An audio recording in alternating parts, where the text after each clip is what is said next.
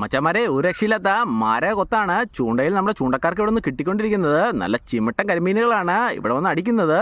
ഒരു അര കിലോ മുക്കാൽ കിലോ റേഞ്ചിലുള്ള കരിമീനുകളൊക്കെ ഇവിടെ ഇഷ്ടം പോലെ ഉണ്ട്. അതുകൊണ്ട് തന്നെയാണ് നമ്മുടെ ചൂണ്ടക്കാർ ഇവിടെ തന്നെ കരിമീന് വേണ്ടി ടാർഗറ്റ് ചെയ്യുന്നത്. ഈ ഭാഗത്തിന്റെ വെള്ളത്തിന്റെ ഒരു പ്രത്യേകതയുണ്ട്. നല്ല തെളിഞ്ഞ വെള്ളമല്ല ഇവിടെ ഉള്ളത്. ആ വെള്ളം കാണുമ്പോൾ തന്നെ നമുക്ക് മനസ്സിലാവും. ആൽഗിയുടെ അംശം ഇവിടെയുള്ള വെള്ളത്തിൽ കൂടുതലാണ്. ഇങ്ങനെ കായലിലൊക്കെ ആൽഗിയുടെ അംശം കൂടുതലുള്ള വെള്ളത്തിൽ കരിമീനുകൾ ശരിക്കും നിൽക്കും. ഈ ആൽഗി അവർ ശരിക്കും കഴിക്കുന്നതാണ്. ഈ അതുപോലെ തന്നെ ഈ കരിമീനൊക്കെ വളർത്തുന്നവർ കൃത്യമായിട്ട് പോലും കുളങ്ങളിൽ ആൽഗിയൊക്കെ സൃഷ്ടിക്കാറുണ്ട്. അതുവഴി തീറ്റ ചെലവ് ശരിക്കും കുറയ്ക്കാനായിട്ട് പറ്റും. അതുകൊണ്ടാണ് നമ്മൾ ഇതുപോലെ ഒരു സ്പോട്ടിൽ തന്നെ ടാർഗറ്റിംഗ് ചെയ്യുന്നത്. ഈ വെള്ളത്തിൽ അവർ ശരിക്കും പ്രജനനം നടത്തും. പിടിക്കും അധികമൊന്നും പിടിച്ച് കയറ്റിയിട്ടില്ലാത്ത ഒരു സ്ഥലമാണെങ്കിൽ ഉറപ്പായിട്ടും ശരിക്കും കരിമീനുകൾ പെറ്റി പെരുകി തന്നെ കിടക്കും. അതുകൊണ്ട് നമുക്ക് അധിക സമയം ഒന്നും ബെയ്റ്റ് ഇറക്കിയിട്ട് ഇതുപോലുള്ള സ്പോട്ടുകളിൽ കാത്തു നിൽക്കേണ്ടൊന്നും വരില്ല. കരിമീൻ പിടിക്കാനായിട്ട് അതെ സുധീരേട്ടൻ ഇട്ട വഴി തന്നെ അതിനകത്ത് കൊത്തു വന്നിട്ടുണ്ട്.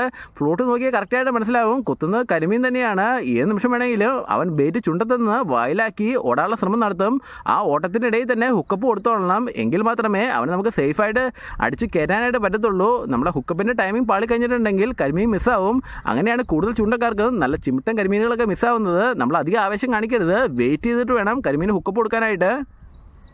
മച്ചന്മാരെ പശിൻ പിടിച്ച കരിമീനെ കൊല്ലിലേക്ക് മാറ്റി എത്രയും പെട്ടെന്ന് കൊല്ലി വെള്ളത്തിലിറക്കി ഇടുകയാണ്. ശരിക്കും വൈകുന്നേരം ആയപ്പോഴാണ് അടി കൂടിയത്. അതുകൊണ്ട് തന്നെ ഒരു സെക്കൻഡ് പോലും നമുക്ക് പാഴാക്കാനില്ല. മാക്സിമം കരിമീനുകളെ എത്രയും പെട്ടെന്ന് പിടിച്ചെടുക്കാനുള്ള ശ്രമമാണ് അശ്വിൻ നടത്തിക്കൊണ്ടിരിക്കുന്നത്. മച്ചാന്മാരെ ശരിക്കും നമ്മുടെ ചൂണ്ടപ്പുലികളുടെ ചൂണ്ടകളിൽ മീൻ മീൻ അപ്രോച്ച് ചെയ്യാനായിട്ട് തുടങ്ങിയിരിക്കുകയാണ്. അത് കറക്റ്റായിട്ട് നമുക്ക് ഫ്ലോട്ടിൽ നോക്കുമ്പോൾ മനസ്സിലാവുന്നുണ്ട്. നമ്മുടെ ബേറ്റ് വെള്ളത്തിൽ വീഴുമ്പോൾ തന്നെ അവർ കൊത്തിക്കൊണ്ട് ഓടുകയാണ് നമ്മുടെ ബേറ്റ് നല്ല നല്ല ചിമിട്ട കരിമീനുകളാണ് ഇപ്പം നമ്മുടെ ചൂണ്ടക്കാരെ പോളോഡിനെ അപ്രോച്ച് ചെയ്തുകൊണ്ടിരിക്കുന്നത്. ഒരെണ്ണത്തിനെ പോലും വിടാതെ എല്ലാത്തിനെയും അടിച്ചു കയറ്റാനുള്ള മാരക ശ്രമമാണ് നമ്മുടെ ചൂണ്ടക്കാരെ നടത്തിക്കൊണ്ടിരിക്കുന്നത്. ഏത് നിമിഷം വേണമെങ്കിലും ഒരു അര കിലോ മുക്കാൽ കിലോ റേഞ്ചിലുള്ള തീപ്പൊരു കരിമീനുകൾ ഇവിടുന്ന് കയറാം ഈ വിദേശ രാജ്യങ്ങളിൽ നിന്ന് വരുന്നവർക്ക് പോലും കരിമീൻ പ്രിയപ്പെട്ടത് ആ ഒരു കാരണമുണ്ട്. വെറുതെ ഒന്നുമല്ല നമ്മുടെ സംസ്ഥാന മത്സ്യമായിട്ട് കരിമീനെ തിരഞ്ഞെടുത്തിരിക്കുന്നത്. അതുപോലെ മാരക രുചിയുള്ള മീനുകളാണ് ഈ കരിമീനിൽ. പ്രത്യേകിച്ച് ഉപ്പുവെള്ളത്തിൽ കിടക്കുന്ന കരിമീനുകൾക്ക് നല്ല കിടു ടേസ്റ്റാണ്. അതുകൊണ്ട് തന്നെ വിദേശത്തു നിന്നൊക്കെ വരുന്നവർ അത് ഒരു വട്ടം കഴിച്ചു കഴിഞ്ഞിട്ടുണ്ടെങ്കിൽ വീണ്ടും വീണ്ടും അതിനു വേണ്ടി അവർ തിരിച്ചു വരാറുണ്ട് അത് കഴിക്കാനായിട്ട്.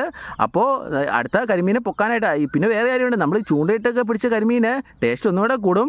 കാരണം ഫ്രഷായിട്ട് തന്നെ നമുക്കത് കുക്ക് ചെയ്യാനൊക്കെ കഴിയുകയാണെങ്കിൽ ഐസിലൊന്നും ഇടാണ്ട് കുക്ക് ചെയ്യാനായിട്ട് കഴിയുകയാണെങ്കിൽ ടേസ്റ്റ് ഡബിൾ ആവും അത് ഈ ചൂണ്ടക്കാർക്ക് അറിയാം അതിന്റെ ടേസ്റ്റ് അതുകൊണ്ട് തന്നെയാണ് ഈ കരിമീൻ സീസൺ തുടങ്ങി കഴിഞ്ഞിട്ടുണ്ടെങ്കിൽ എല്ലാ ചൂണ്ടക്കാരും അവരെ പിടിക്കാനായിട്ട് ചൂണ്ടയായിട്ട് ഇറങ്ങുന്നത്. സുധീർക്കയുടെ ഫ്ലോട്ട് പയ്യെ അനങ്ങുന്നുണ്ട്. കരിമീനാണ് കൊത്തുന്നത്. വ്യക്തമായിട്ട് തന്നെ കാണാം. അതിന്റെ തൊട്ടപ്പുറത്ത് തന്നെ ബബിൾസ് ഒക്കെ വരുന്നുണ്ട് വെള്ളത്തിന്റെ അടിയിൽ നിന്ന്. ഇങ്ങനെ അടിച്ചു അടിച്ചു ഓ ഒരു പടക്കരിമീൻ അടിച്ചിരിക്കുകയാണ്. സുധീർക്ക ഓ സുധീർക്ക ഓ പടക്കരിമീൻ അടിച്ച് കയറ്റിയിരിക്കുകയാണ് നമ്മുടെ അശ്വിൻ. അശ്വിൻ അടിക്കുന്നതെല്ലാം നല്ല സൈസ് കരിമീനുകളാണ്. തൊട്ട് അപ്പുറം നിന്നാണ് കരിമീൻ അടിച്ച് കുറച്ച് അകലെയാണ് ഇപ്പോൾ കരിമീൻ നിൽക്കുന്നത്. എന്തായാലും അശ്വിൻ അവനെ പെട്ടെന്ന് തന്നെ കൊല്ലിയിലേക്ക് മാറ്റുകയാണ്. അടി ശരിക്കും വന്നിട്ടുണ്ട്. ഈ സമയത്ത് നമ്മൾ മാക്സിമം കരിമീനെ പിടിച്ചെടുത്തോളണം.